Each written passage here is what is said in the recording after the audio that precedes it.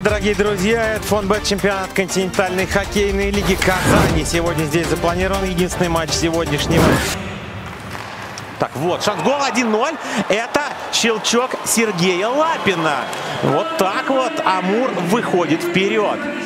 Вновь в этом противостоянии. Чисто выигранное вбрасывание. Допускаю, что может быть там был и рикошет, но щелчок у Лапина получился мощным. Ворота Дюрандо не смог развернуться, ну точнее не позволили ему.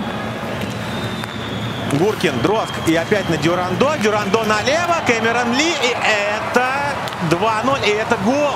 Э, Амура при игре в формате 5 на 4, причем расчертили так красиво, как, как будто бы у Амура с этим большинством проблем нет. Ну, действительно, красивая шайба уже там под конец.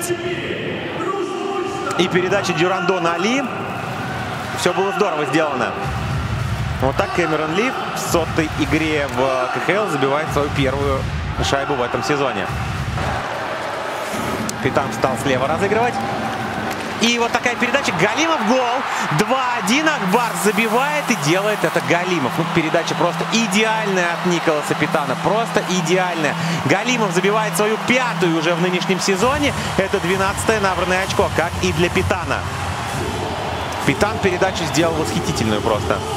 Держался, держался Амур, и, в принципе, ничего такого сверхъестественного ни одни, ни другие не создавали, но только удаление у Хабаровчан, как Акбар с этим пользуется. Смотрите, какая подкидка от Питана и Галимов в ближнюю.